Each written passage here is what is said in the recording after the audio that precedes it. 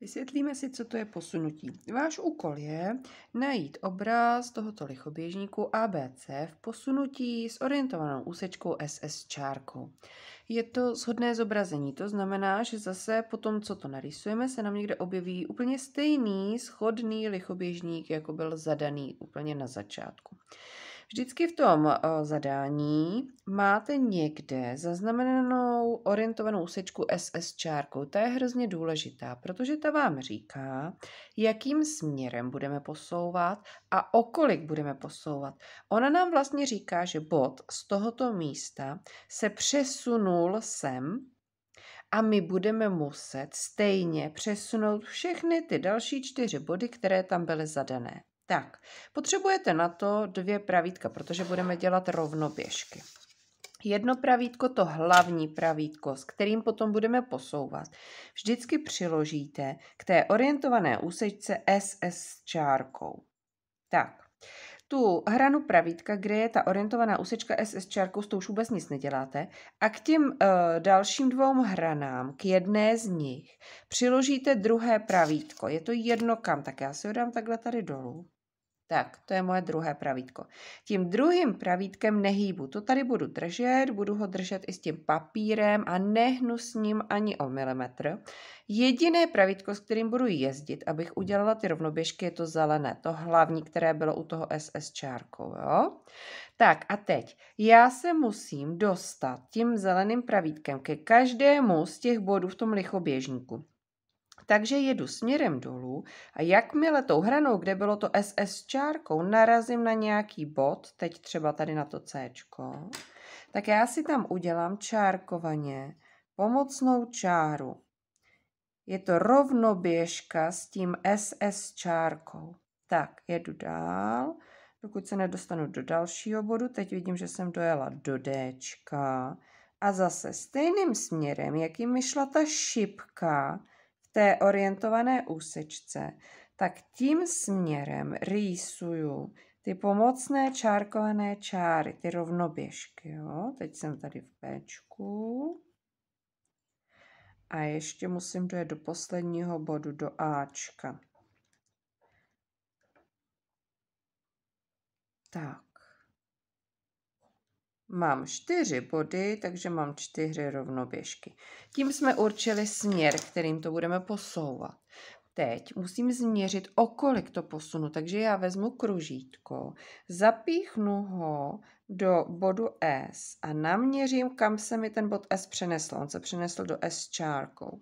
Jakmile mám tu velikost, tak tu velikost teď budu takhle nanášet ze všech těch bodů a budu hledat ty obrazy těch bodů. Takže zapíchnu do C, dělám oblouček, do D, oblouček, do B, tady udělám taky kružnici a do A.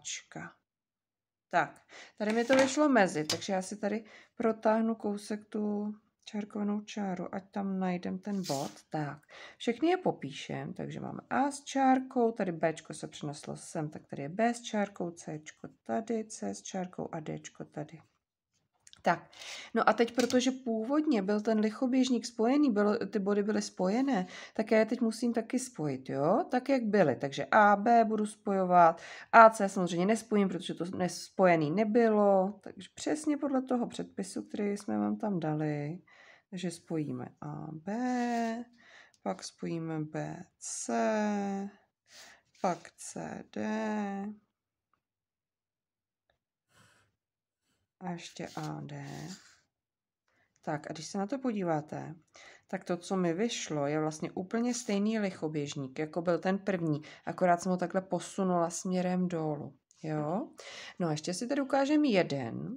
Eh, tady je to trošku jinak zadané. Mám tady trojuhelník ABC a chci taky, abyste našli jeho obraz v posunutí s orientovanou úsečkou SS čárkou. Ale ta úsečka se kryje s těmi našimi body. Když se podíváte, já jsem si tady napsala, že B je S, takže tady je vlastně začátek té orientované úsečky. A pak jsem napsala, že A je S čárkou, takže tady je konec té orientované úsečky. On se mi vlastně ten bod S přenesl z tohohle bodu B do toho bodu A. Jo? Funguje to stejně zase. Hlavní pravítko dávám k orientované úsečce. To vedlejší pravítko zase na jednu z těch dvou volných hran, hlavně ne sem, jo? to by nám nešlo posouvat. Tam, kde je ta orientovaná úsečka, tam to pomocné pravítko nedáváte. Takže dám takhle bokem a teď zase budu tou zelenou jezdit. Jo? Ale pozor, já potřebuju udělat rovnoběžku. Teď vidíte, že ta orientovaná úsečka jde takhle směrem doleva. Potřebuju z B. Když se podívám, tak z B už tady tu čáru jako mám. Já se tady klidně ještě protáhnu. Pak budu potřebovat z Ačka tak ta je pořád stejná, jo? Jenom jsem to tady protahla. Já už v těch bodech jsem, já jsem tam nepotřebovala dojet, tak jenom udělám uh, tu rovnoběžku. Tak, rovnoběžku dělám. Teď dojedu do C, zase udělám rovnoběžku s tou orientovanou úsečkou. Tak, a je to hotový. No a teď zase vezmu kružítko a naměřím, jak je velká ta orientovaná úsečka S do S čárkou. A teď koukejte, já bych měla píchat do všech těch bodů. Jo. Když píchnu do B, tak a udělám oblouček, tak ono mi to vyjde sem. Je to logický, protože když S se mi objevilo tady a S je zároveň B, tak i to B s čárkou se mi objevilo tady. Takže já to B s čárkou vlastně hledat nemusím, to už tam je. A teď jenom přehodím to Ačko a to Cčko. Tak, tady bude C s čárkou, tady bude A s čárkou a tady teda mám to B s čárkou a rovnou to zase spojíme, aby z toho vyšel trojuhelník. A podívejte se, opět bude ten trojuhelník úplně stejný, jako byl ten původní, jenom bude posunutý ve směru té orientované úsečky. Jo, takže takhle se rysuje posunutí.